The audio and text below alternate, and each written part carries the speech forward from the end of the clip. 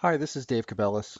Today I'm going to introduce you to Dynamic Clusters, a new feature in WebLogic 12.1.2, and show you how dynamic clusters can make it easy to roll out a new cluster and then scale up that cluster.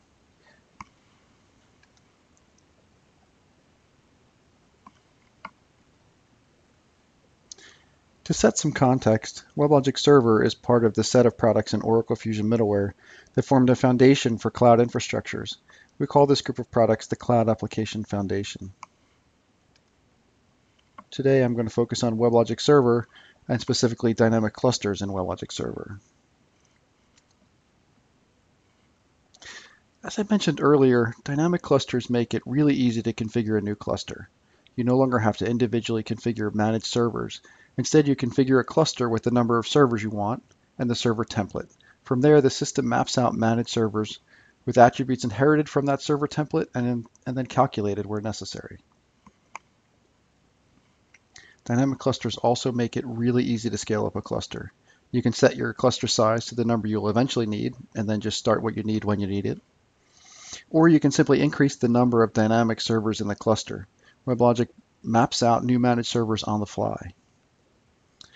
By making it really easy to roll out and scale out a cluster, dynamic clusters can be a building block for elasticity in a cloud environment. The WebLogic administration console captures the steps needed to configure a dynamic cluster, and it makes it easy to manage, monitor, and reconfigure a dynamic cluster once you have it up and running. Let's switch over to the admin console and take a look. We'll just log in. Here we have the home page of the administration console. Hopefully this looks familiar to everybody. Let's take a quick look. First thing here is to make sure that I have a machine configured. Here I have my laptop configured.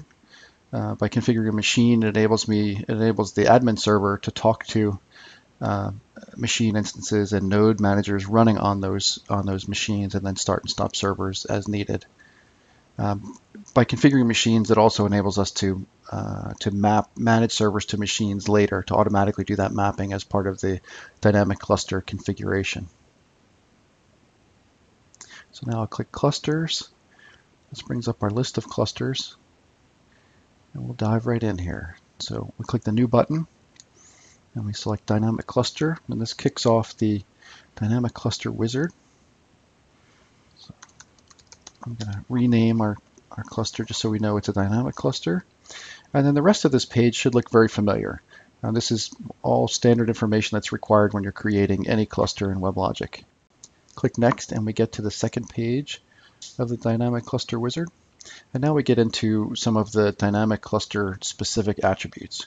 So first of all, we see the number of servers. Uh, so this will tell us how many servers we want, uh, we expect to need at the, you know, when we first roll out our dynamic cluster. I'm going to just leave this at two server name prefix. Uh, so this, when we have a managed server uh, in a dynamic cluster, WebLogic automatically maps out the, the managed server names. So every managed server in the cluster will start with this particular prefix. Uh, and then this page also asks us about server template. Um, you can either create a new server template or you can create a new server template based on an existing uh, server template that you may have already set some, some uh, configuration attributes. This is my first one. I'm just going to leave it here. So we'll move to the next, next page.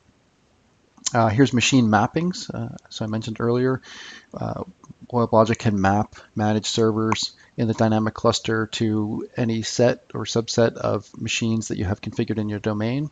Uh, the options here are to use any machine. Um, you could use a single machine. You could host your cluster on one particular machine or you could use a subset of machines, and in that case, you would enter an expression for um, uh, the machine names that you want to match. I'm just going to use the first option.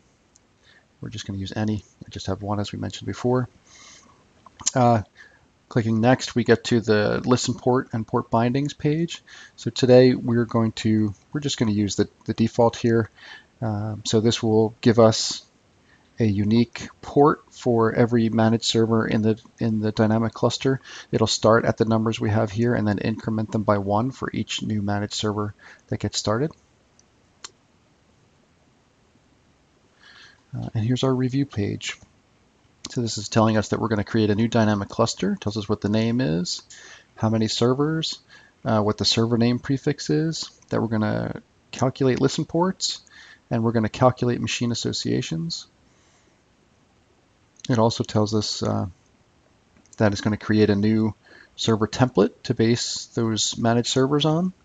Uh, and it's going to start the, uh, the port mappings at 7100 and 8100 uh, for plain and SSL respectively. So let's click finish. We should be right there. And there you have it. We have a, a cluster configured, uh, ready to have two servers uh, get started. So let's take a look and see. So if we look at the list of servers, we can see that there are two managed servers that are ready to start.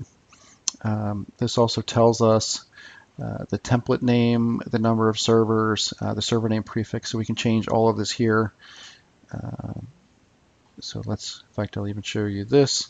We can say, we can change that to three, save the changes, and you'll see we, we dynamically uh, map a new managed server. Let's go to the control tab and we'll start one of these servers. So you can see how easy it is to just get this up and running. While that's starting, let's uh, let's actually go back and we'll increase this by yet another one. Let's make this four. Save our changes. And we'll see we now have four servers in the list. And if we go to control, we're ready to start any one of these or, or all of them. In fact, if uh, if we want, we can just click all four of these and start them. So there you have it. Uh, a very easy four node cluster up and running in just a couple of minutes here.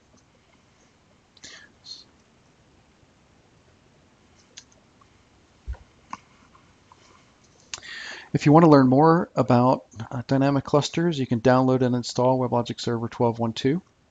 Try them out for yourself. You can also get involved in the WebLogic community through Facebook, Twitter, YouTube, and other pathways listed here. We look forward to hearing from you. Thanks for watching my video.